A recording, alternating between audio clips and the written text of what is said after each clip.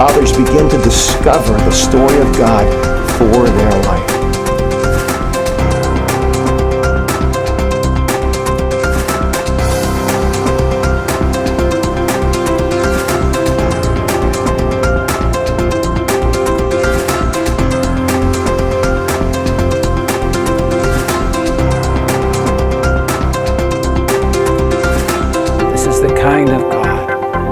help you fear less tomorrow than you do today.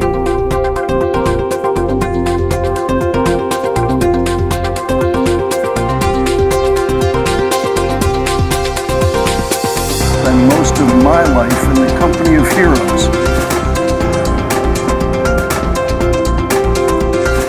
To look up at the skies.